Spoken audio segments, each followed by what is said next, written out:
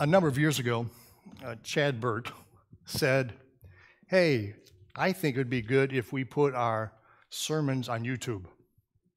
Frankly, I thought it was a stupid idea um, because I thought, who in the world's going to want to watch us in La Harpe, Illinois? But since that time, it's been an amazing thing to watch what God is doing. Um, there's over, I don't know, 1,200 subscribers to our Union Church channel. Doesn't that just sound weird? A Union Church YouTube channel? And I looked the other day, and there's uh, 30 plus sermons that have been viewed over a thousand times. And the one that's been viewed the most has been viewed at this point 19,000 times. Way to go, Chad. Um, you just never know what God's going to do. People have a chance to comment on these sermons, and so I always read the comments, and Rick does too. And some are quite amusing. There are comments that people are trying to divert other people to other websites, probably that are teaching better things. And we just delete those so that nobody knows about those. and then if you subtract those people who think we're working for Satan, um, what's left are some really kind comments. But the thing that you notice as you're reading this is that there's a lot of people who are very confused about the gospel. They're not really sure what it is. And so we're going to look at that today, even though I hope that you know what the gospel is. After this, you will know what the gospel is, I hope. But before we get to that, I want to jump to verse 10 of chapter 42 and listen to what we're told. This is we see this command over and over in uh, the Bible. Sing a new song to the Lord. Sing his praises from the ends of the earth. Sing all who sail the seas, all you who live in distant coastlands. The, the main thing here is sing a new song to the Lord. That doesn't mean that we should just be singing contemporary songs in worship. And there are some people who seem to think that we should only sing new songs. That's ridiculous. What it really means is sing a fresh song to the Lord. Come to me with a freshness when you worship me. So that could be, it's really about the harmony or the melody of our life. That the melody of our life should be a fresh sense of worship to the Lord. And one of the best ways of getting that fresh sense of worship and fresh sense of walking with God is to rehearse what the gospel is, because we need to remember what the gospel is. So in verse 18 through 20, this is the first thing that we are by nature rebels against God.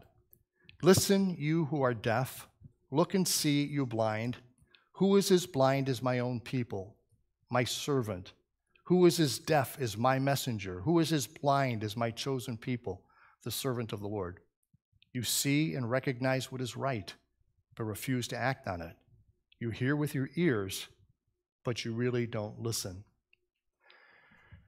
Last week, Rick talked about the fact that the Messiah is coming. That's at the beginning of chapter 42.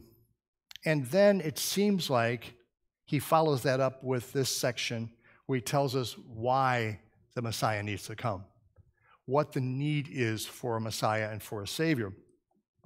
And what we need to remember about God is that God doesn't tolerate those who are not holy because it's against his character. God is pure, God is holy, God deserves the very best. And those who rebel against him are those that are facing the wrath of God. And that may seem harsh, but it's not. It's just consistent with God's nature. And what he's saying here is that you guys are doing all kinds of things. You're, you're going to worship, you're, you're doing religious stuff, but you're doing it for the wrong reasons. You're not honoring me at all by the things that you're doing. And as we've been going through Isaiah, of course, we've seen this indictment again and again and again and again to the point of almost tedium. But here's the thing that if we look at Israel and we say, you know, we know that these guys just didn't get it. They, boy, how obstinate can these people be? As soon as we say that, we are indicting ourselves because we're just like Israel we continue to uh, go our own way. Listen to what the New Testament says in Romans chapter 1, verse 22, 23. Yes, they knew God, meaning the people, but they wouldn't worship him as God or even give him thanks.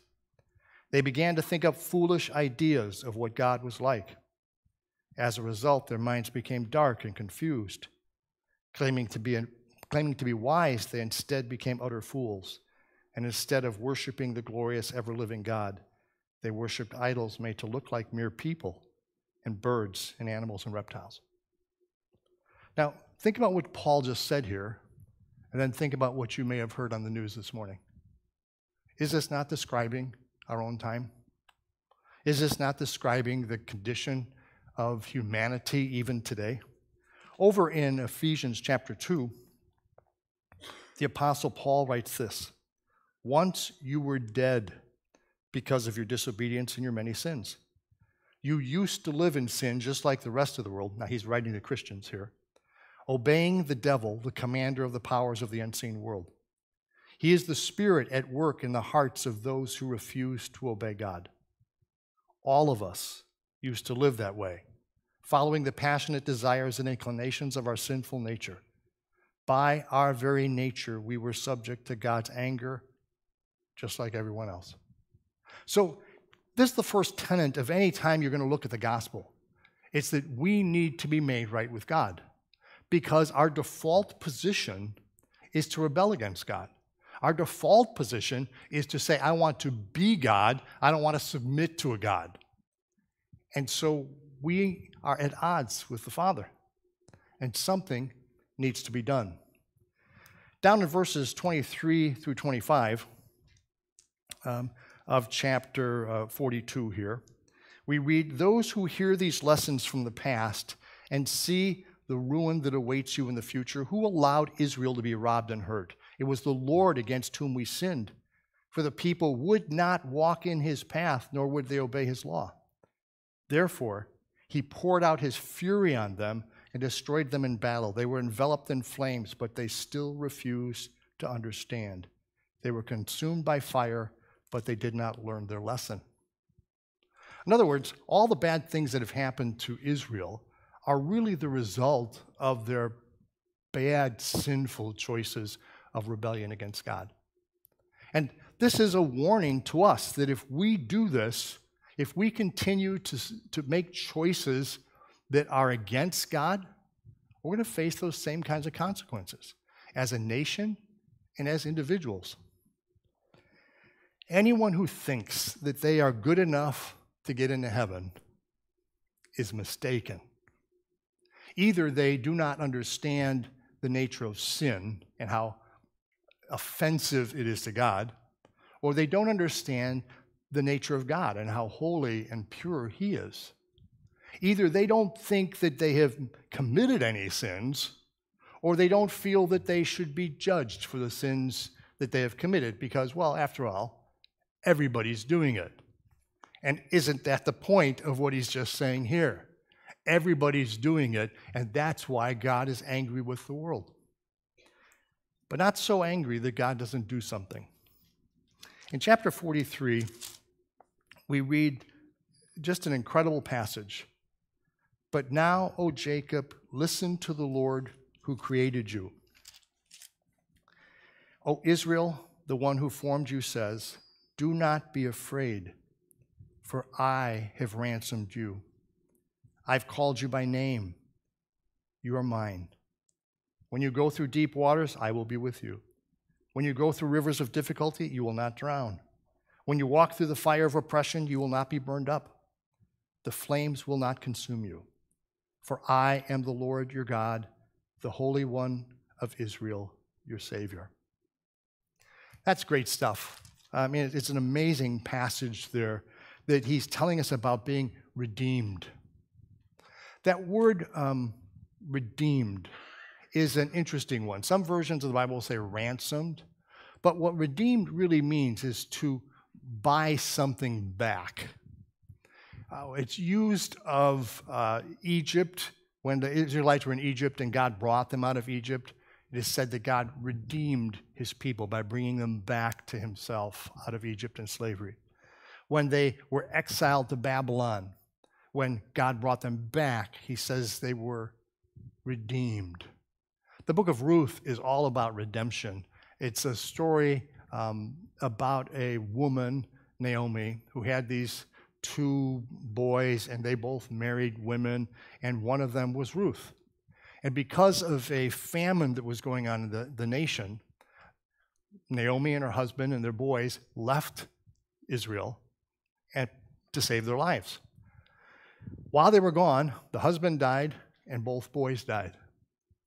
One of the daughters in law decided that she would go back home and try to start over.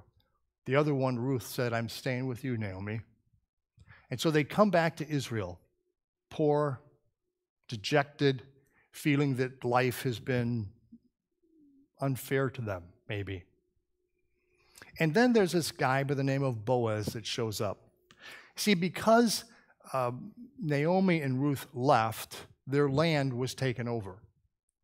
Now, in Israel, the land was given to a family for life. It was considered to be given to them by God. But you could lose the land because of taxes or because you were poor. You could sell the land. But you could always buy it back. And so they had this uh, principle that was called the kinsman redeemer. So a close relative could, on behalf of somebody, buy their land back for them. And that's who Boaz was. He was a guy who stood up and he said, I will be your kinsman redeemer. The story is much richer than that, but uh, I will be your kinsman redeemer. And so he buys back the land for Naomi, and then he agrees to marry Ruth and to provide a child that will now be considered Naomi's so that she could have a family that could continue to hold the farm and the land that was given to them. And those of us who, are, who live in an area where there's a lot of family farms, we may understand how valuable that was.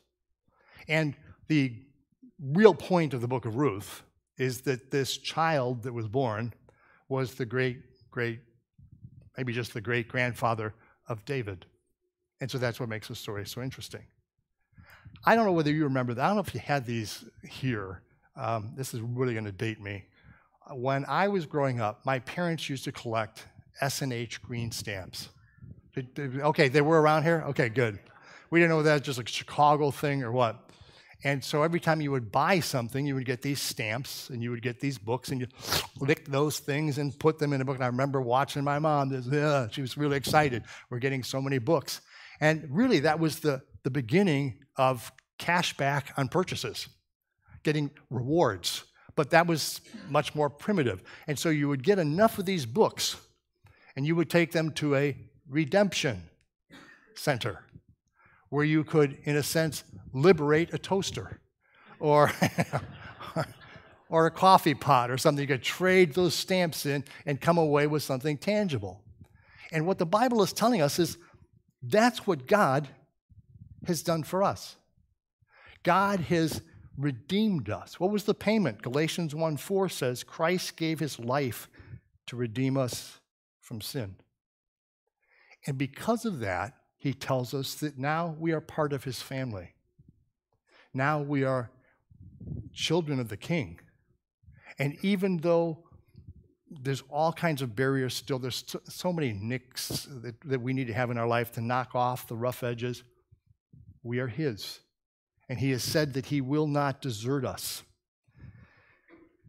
Verses 10 and 11 of chapter 43 in Isaiah here says, But you are my witnesses, O Israel, says the Lord. You are my servant. You have been chosen to know me, believe in me, and understand that I alone am God. There is no other God. There never has been, there never will be. I, yes, I am the Lord, and there is no other Savior. I like that. There's a couple things that you need to see from that text. The first is that fact that, um, that we are chosen by God, which is a, a staggering idea because we live in this world where, where basically we're anonymous. Have you noticed that? You, you walk down a street of a busy city, nobody notices you unless you're dressed really stupid. Um, people aren't going to notice you. And so you, you, you can be in a big crowd of people and nobody even knows you're there. And we feel that sometimes even in a church, even walking down the streets of a small town, don't you? You feel completely invisible. And yet, the creator of the universe knows us and sees us and has chosen us to be his own. Why are we here today? We're here today because God has done something in our heart that changed our perspective on life. And instead of pursuing our own will, all of a sudden now we, we desire what God has for us. What brings that about? He does. So the first thing he says is we are chosen. The second thing he says is, I am the only Savior. Now, I know that that's politically incorrect today. It is very unwoke to say that Jesus is the only way of salvation. But Jesus is the only way of salvation. There is no other way to get to heaven. You can't get there by a sterling church attendance. You can't get there by taking communion so many times. You can't get there by your baptism. You can't get there by the people that you witness to. You can't get there by any of that stuff. The only way to get to heaven is through faith in Jesus Christ. And we keep wanting to say, but what do I need to do? He has done it. We're not saved because of what we've done, we're saved because of what God has done on our behalf. And that's a staggering thing to try to grasp. Well, it gets even more staggering. Verses um, 12 and 13, listen to what he says. First, I predicted your rescue, then I saved you and proclaimed it to the world. No foreign God has ever done this. You are witnesses that I am the only God, says the Lord. From eternity to eternity, I am God. No one can snatch anyone out of my hand. No one can undo what I have done. In this world where we feel so insecure, you only have to watch the news to start feeling that anxiety uh, build inside of you. God is saying, Look, if you are mine, nobody can ever take you away from me. And it's not just here in Isaiah. Jesus said it over in uh, a number of passages in the Gospel of John. He says, No one can snatch you from my hand. So relax. You know, our, our salvation is not about what we do, it is about his promise to us. He's made this covenant, he's made this promise that if you will come to me, I will make you new, and no one will ever take you from me. Even though at times we may try to wiggle free, I suppose. And then verse 25 of chapter 43. What great verses these are. I, yes, I alone, will blot out your sins for my own sake and will never think of them again. Are you like me? That there's a lot of things you look back on your life with regret on? So there's things I wish I had never done. There's people that I've hurt, and there's decisions that I made that I know were not honoring to God. And there's this part of me that says, I don't want anybody to know because they would think less of me. And I don't want God to know. How foolish is that? He already knows. But listen to what he says I've blotted those things out. And he doesn't say, I've forgotten them. He says, I will remember them no more. See, that's the problem that we have sometimes with forgiveness. We say, I can forgive, but I can't forget. God doesn't forget what we've done, He just chooses to never remember it. It's a non issue. It's dealt with, it's paid for by Jesus. And that's what we do when we forgive another person. We say, I know what you did. I'll never forget what you did. But you know what? It's the past. We're going to move on from here. I am no longer going to hold this as a barrier to our relationship. Wow. He has blotted out our sin. And that means that there is no more reason to regret to carry around that, uh, that, that heavy burden of regret in our life. Let it go. Christ has paid for it. We don't deserve it. We know, and we say, I can't forgive myself. And I had a professor once who said this to me, and I said that. I said, I, I know I'm forgiven, I just can't forgive myself. And he said to me, Who do you think you are Well, I thought you knew my name. and he said, If the creator of the universe has forgiven you, who do you think you are to say you're not forgiven? Wow. It was life transforming to all of a sudden realize that I am really forgiven. And you know what the good news is? You are too. You are too. That's the message of the gospel. All right, now, we need to respond to this. And that's the third thing that we need to understand because we say, okay, I know that I'm a sinful person. I get that. I see that Jesus paid the price for us, that God is the one who initiates this relationship and, and my sin's forgiven. But, but how do I get this? What do I need to do? Grace is not earned, and I said that, and no one is beyond the reach of God's grace. You may be sitting here today saying, well, yeah, I suppose there's a limit to the number of sins you can commit. And if you've gone over that, you can't be forgiven. No, there is no limit. Because the sacrifice of Jesus was sufficient, sufficient for any sin. And it is efficient for those who come to him. And that's the message that we're given. And because of this, there is no room for boasting. What do we have to boast about other than the greatness of our God? We don't walk around and say, you know, I, am a believer because I'm smarter than you are. Have you met those people? You have my permission to punch them in the nose. Seriously, I said, stop it. Who do you, you don't understand the gospel at all. And that's the thing that gets me irritated sometimes when I read some of these posts on our YouTube page. You people think you've got this all figured out. It's a, it's a wonderful mystery, a majestic truth that we should just receive and give thanks to God for this. We have not earned it. There's no sense for us to be pious and look down at other people and say, well, you know, if you could be more like me, you too could be saved. I don't want to be more like you. And that's why people aren't getting saved. There is no room for boasting. And we're told that God has given us the Holy Spirit as a deposit, which, do you remember what the next word is? A deposit which guarantees our inheritance. What a great word. When I, when I feel like, oh my, I've really done it now, I realize that God has given me the Holy Spirit, and that's why I'm feeling guilty. He's given me the Holy Spirit as a deposit which guarantees my inheritance.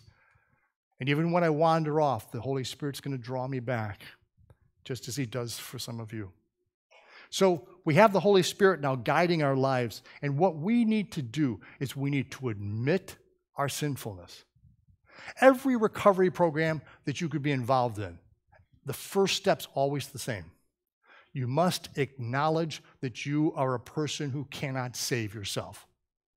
I'm an alcoholic. I'm a drug addict. I am a sexaholic. I'm a purchase, a buying person. You know, I can't stop spending money. Whatever the case may be, you go to a recovery group, and the first thing is admit that you've got a problem.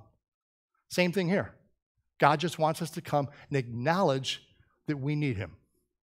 Lord, we need you because we are really messed up and we're lost. And, and I've done so many bad things, and I could never, ever pay for this.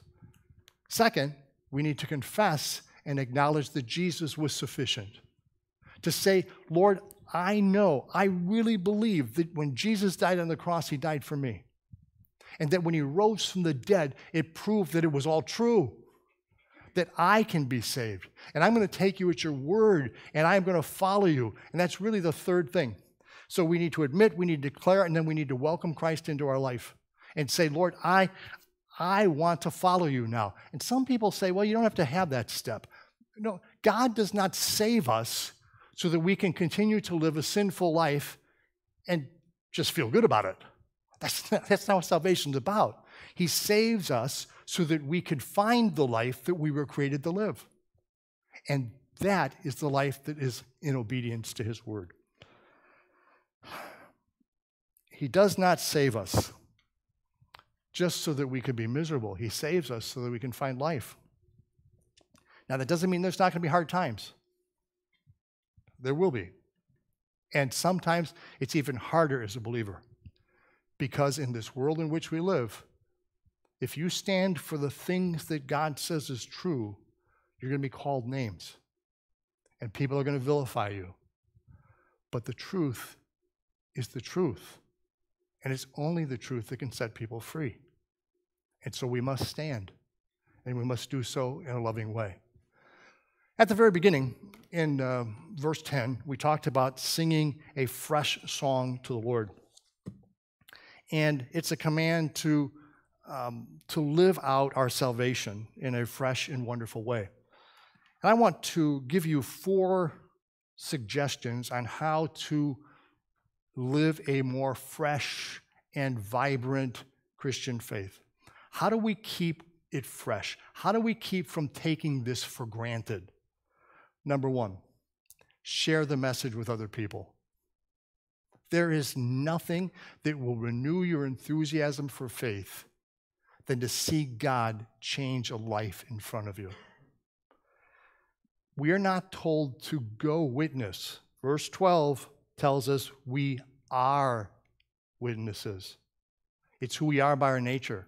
As followers of Jesus Christ, we are witnesses. So the question is how good of a witness are you? And what are you testifying to by the way that you live your life? Are you testifying to Christ? Or are you pushing people in another direction? But if you continue to share the message of Jesus, and, and this may be just a word, just a statement, it doesn't have to be this long, drawn out thing.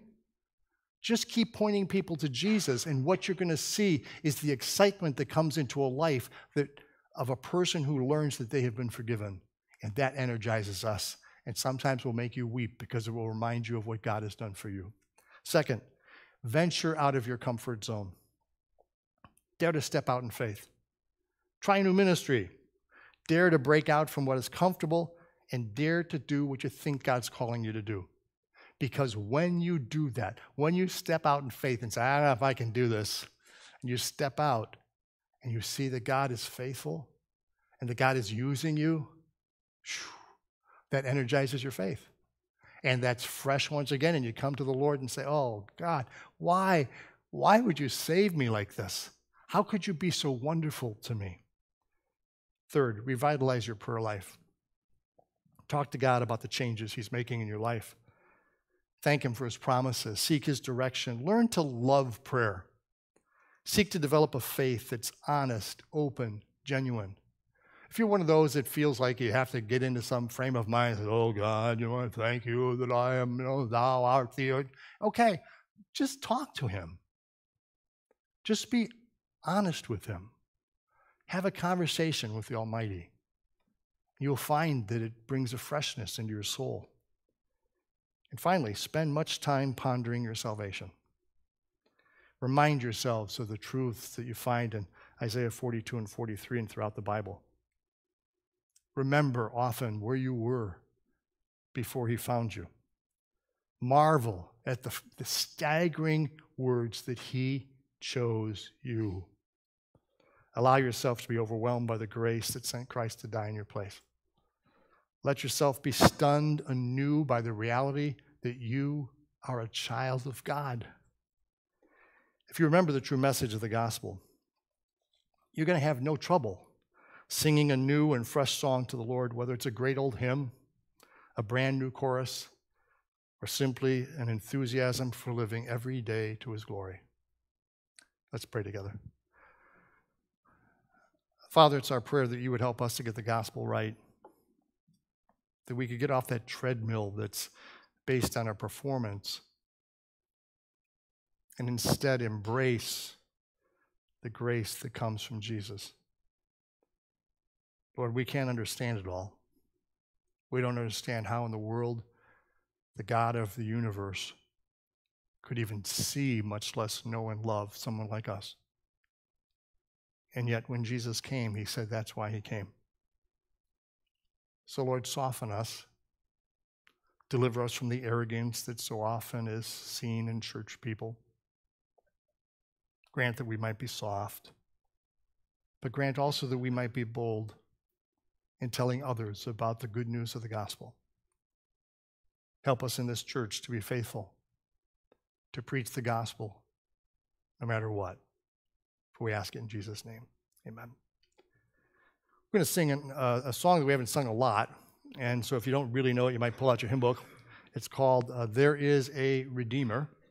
Real simple, beautiful chorus. I'm going to stand and sing it with me.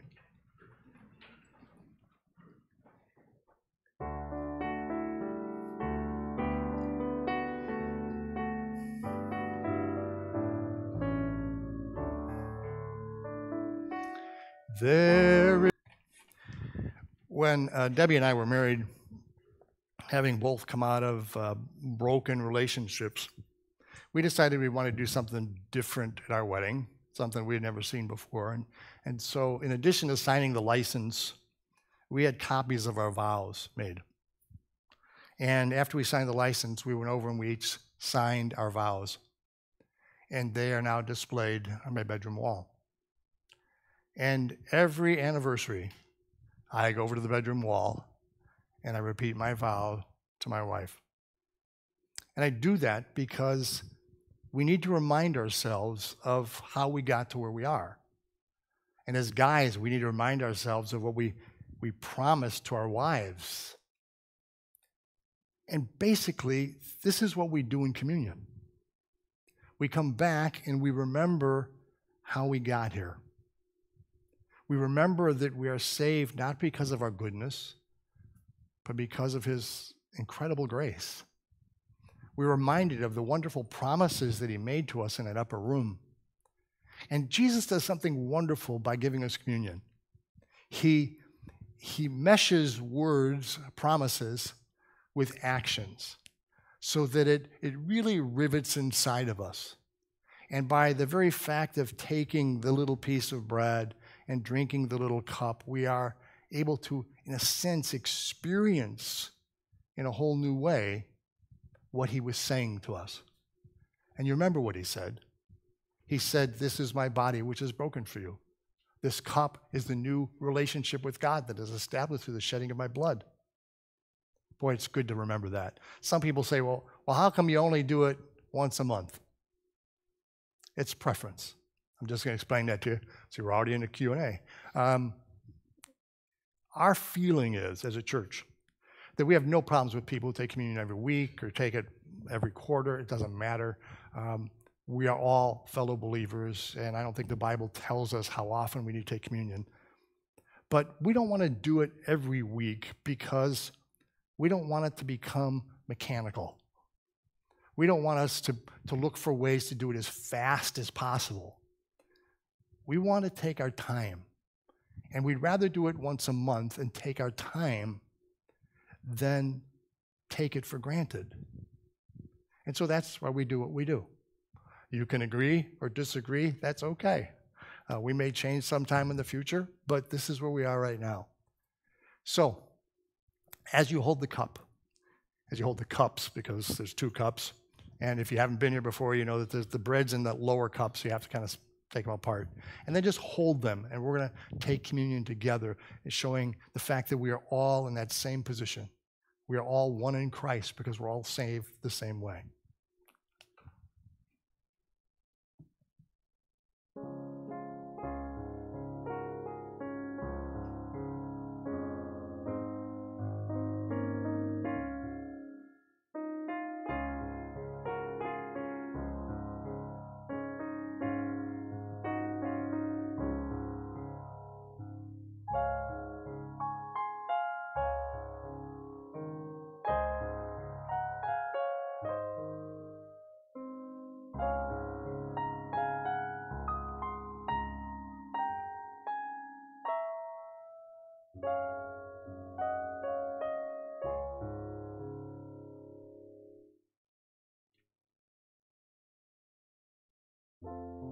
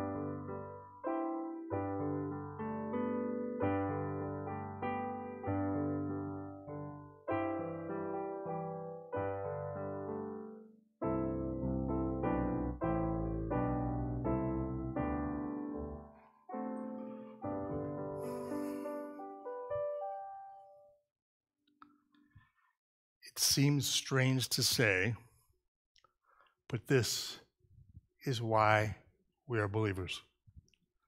This is the gospel. Jesus took bread and he broke it. And he said, This is my body, which is broken for you. We say, How could one man die for all these people? It's because of who that one man was. That as the Son of God, his life had infinite value. It could pay for all the people of creation and all the people of creation 10 times over and more because of the value of that life. What Jesus said to us is that you matter to me. You matter. That's why I came. I gave my life to build a bridge between you and God because there's a great chasm because of your sin. I came to pay for your sin. So it's really not about what we've done, it's about who we are in Christ. So take, eat, be grateful.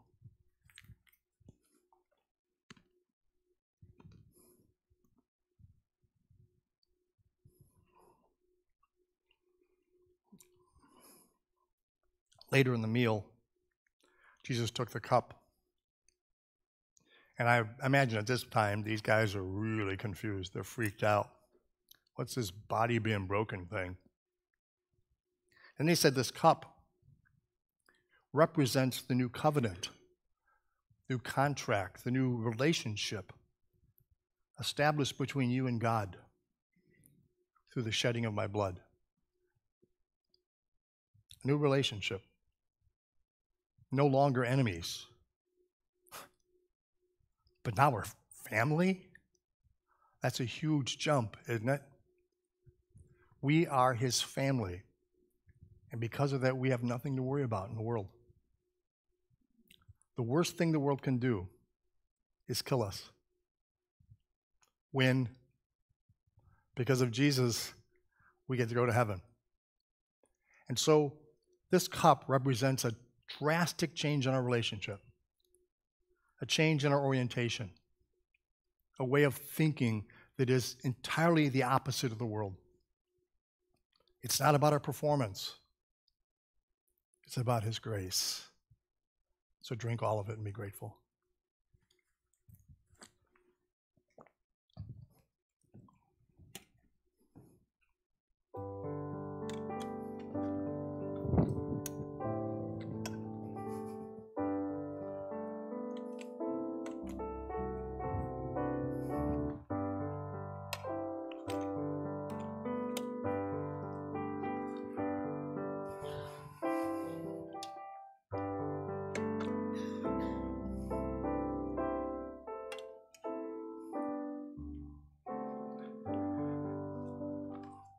Will you pray with me? Our Father, if we had the vocabulary of the smartest person in the world, there would not even be close to words enough to say thank you. So, Lord, just we say very simply, thank you for changing our lives. Thank you for changing our eternity, our outlook, even our view of ourselves. Thank you for loving us, apparently, since before the creation of the world. And we ask this all in Jesus' name. Amen. Let's conclude today by singing, then, does free will really exist? Now, that is a deep question. I'm grateful that I only have two minutes. Um, but let me, let me just clarify something here. We, we run scared with the word predestination. Um, it's a word that's in the Bible. You find it in Romans 8, you find it in Ephesians 1. And therefore, we have to believe in predestination. It's how you define it that matters. And that's what people disagree on. And we may not agree on it ever. And I am in a process of moving through that continuum of what does it really mean? But here's the thing that we need to keep in mind that the word is predestination. And it's talking about the fact that God has, before the creation of the world, I guess, decided who's going to be saved and who's not. Now, how he does that, that's the debate. But he decides who's going to be saved. Now, that's different than, um, than this idea that God has laid out every single thing that we're going to do. Um, that's determinism. So there's a difference between predestination and predeterminism. So God says, I'm going to get you to here. Now, how you choose to get there is kind of up to you. As Staples would say, you could do it the easy way or you could do it the hard way. And during the course of those choices, God will sometimes intervene to move us in a different direction. But for the most part, God wants us to learn by doing. And so there is a great deal of freedom. Here's a way to think about it. Um, suppose you were playing chess against a chess master. I don't know why I would be doing that, but suppose I was. And in that game, the chess master just moves his pieces. The thing is, he already knows he's going to win because he's way better than me. And he probably has a pretty good idea of how he's going to win. But I'm still in control of where I'm going to move my pieces. And he's going to respond to me. I, is, am I, do I lose my free will in that? Nope. I just am a lousy chess player. That's all it is. And so he will eventually win, whether he wins in five moves if he's being generous, or whether he toys with me for a while, it's up to him. And it's kind of the same way with God. God doesn't toy with us, but God allows us to make decisions. That's why we see Israel getting punished. But God all along had said, Israel, you're my own, and I'm going to lead you to, to magnify me in the world. And that's what he did. And that's what he's doing. And that's what he'll do through us. But as far as the decisions along the way, those are up to you and listen to the Holy Spirit, and you'll make good decisions, and you'll you'll get to where He wants you to be. Either way, one way will be pleasant, the other may not. That's all the time we have. If you have more questions about predestination, you're going to have to write it down on a card. And there's another question down here, so I'm not going to get to that now because it's nine o'clock, and I promise to get you out. Would you pray with me? Father, thank you for uh, whatever this predestination stuff means. It is staggering to us that you have been working in our lives and through our lives all this time. So, Father, we pray that you would help us to relax, to remember who we are, to hold our heads high, not because we're proud, but because we're yours. Amen. Have a great week. I'll take that for next week.